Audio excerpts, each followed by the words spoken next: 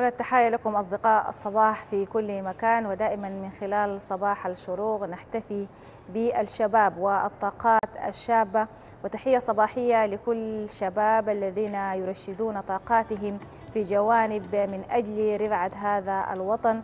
ونشاهد في كل يوم أبحاث مختلفة ومقترحات مختلفة للارتقاء بهذا الوطن وجوانب في العمل الإلكتروني والعمل الرقمي. واليوم من خلال عقول شابة نشاهد واحد من الشباب الذي اخترع جرار من دون سائق في عقول شابة.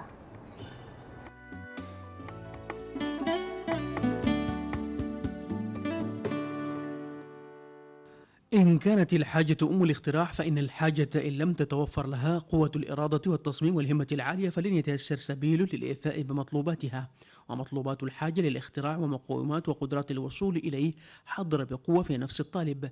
محمد إسماعيل حاج علي وعقله المتفتق. فهبة الخالق الذي جادت عليه بقدر من العبقرية والذكاء أعانته في تنفيذ فكرته وذلك بالتحكم الكامل في الجرار الزراعي بدون سائق.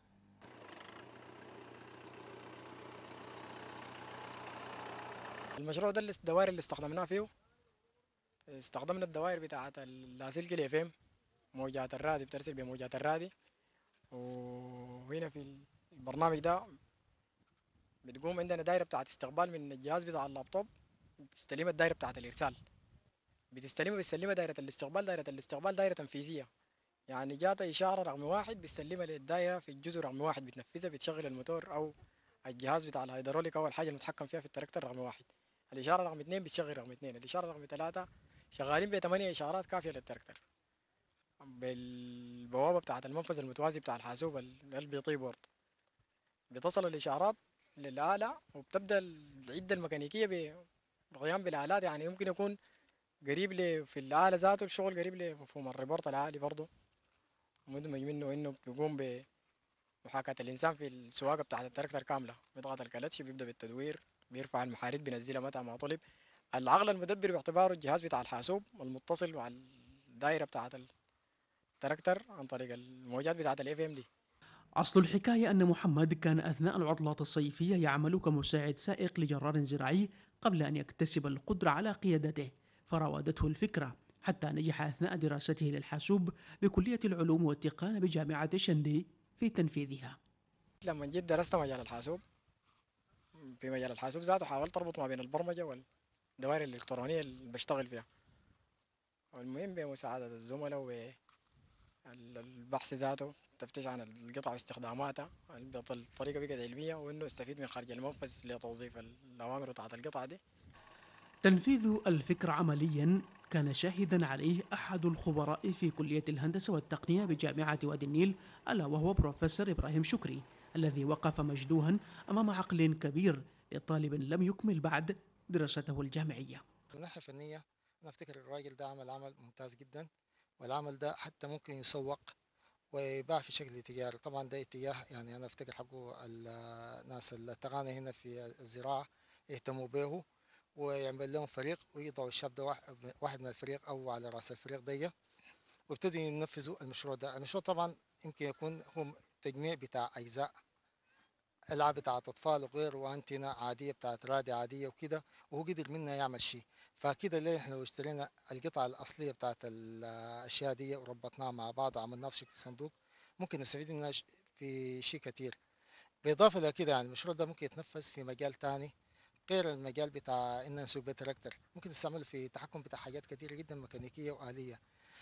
واختيار محمد إسماعيل للجرار الزراعي دون غيره من الآلات والمتحركات بناه على فلسفة خاصة وتبرير حشد فيه الأسانيد الموضوعية والمنطقية.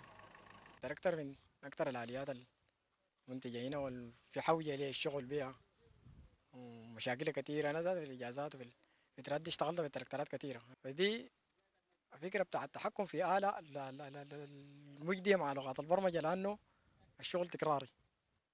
الشغل بتاعت الحراطه تكراريه ال- التراكتر بيظل يكرر لحد ما يغطي كل المساحة المطلوبة. واللغات بتاعت البرمجة الملف التنفيذية العادية دي بمقدرتها إنها تشتغل الشغل ده فما بالك. لغة الذكاء الاصطناعي ممكن تبقى في توجيه الاله لحد المنطقة الماشيه عليها أما إدارة نقل وتوطين التقان بوزارة الزراعة الذي قدمت الإعانة والحفز المعنوي لمحمد إسماعيل فهي ترى بأنه من الممكن الاستفادة من الفكرة في تطوير العمل بالآليات الزراعية. الجرار الزراعي آلة مهمة جدا خاصة في ولاية نهر النيل هنا عندنا شغل بتاع الحراطة والتسوية والتطريد. عملية هامة جدا وزي ما قال هي عملية بتاعة الحراطة عملية بتاعة التكرار. يعني التركتر بيمشي في في مسار معين وبيكرر نفس العملية. أيضا في التسوية برضو نفس الطريقة بيمشي في مسار معين وبيكررها. وهو استطاع إنه يطور العملية دي بدون بالاستغناء عن السائق. وزي ما معروف يعني في الفترة الأخيرة سائق الجرار أصبح يعني يعني يعني يعني سلعة سلعة سلعة قيمة جدا لأنه في الفترة الأخيرة معظم سائقي الجرارات اتجهوا نحو التعدين العشوائي في الذهب. فالفكرة الآلية أو العمل الأوتوماتيكي للجرار بدون استخدام السائق يعني هي فكرة سارة وفكرة رائدة نتمنى إنها تجد القبول ونتمنى إنها تجد الرعاية. ويعود بروفيسور الشكري مذكرا بضرورة أن يجد الطالب محمد إسماعيل جهة ما تتبناه وترعى أفكاره بالتطوير والتجويد والتنفيذ وتهيئ له المناخ الملائم لابتكار وابتداع أفكار جديدة. فأنا أفتكر يعني إنه الشاب دي عمل عمل ممتاز جدا والعمل دي الناس ما حقه تجهله. لأن أنا متأكد الشاب ده لو الناس تركوه على حاله دي حيحصل الاتي حيحصل حيمشي يشتغل ويبقى مهندس ويربي أطفال ويدخله المدارس ويقروا وقفة الخضار وينسى كل شيء. لكن الشاب ده لو الناس من حسا دي بتت يعني تعتني به وتستفيد منه أنا متأكد حيكون له فائدة كبيرة جدا. ده من ناحية. من ناحية تانية في الحقيقة عاوز أتحدث عن الشاب نفسه. أنا أفتكر يا أخوان دي نوعية أو جودة من الشباب السوداني موجودة بكثرة ما هو لوحده. وفي كثير جدا من جامعاتنا في ناس زي ديل.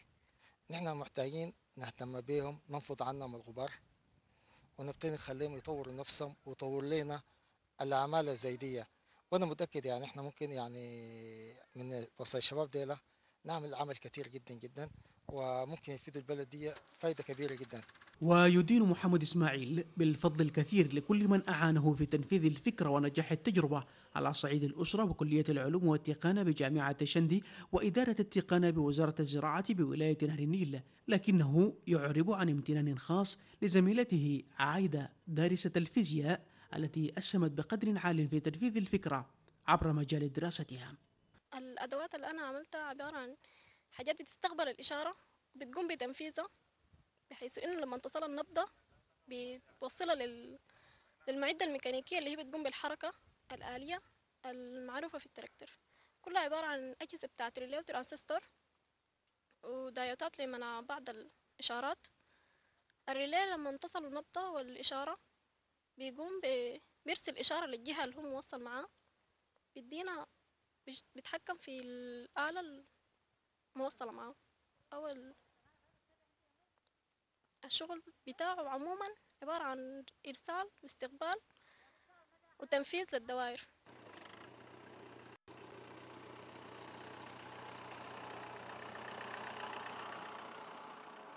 وتبقى الإشارة وبإلحاح لضرورة إيلاء الدولة لمزيد من نتائج البحوث العلمية بالدعم والتمويل والتبني والرعاية المباشرة. إن كنا نرغب حقيقة في ارتياد آفاق النهضة والتقدم. بين الشعوب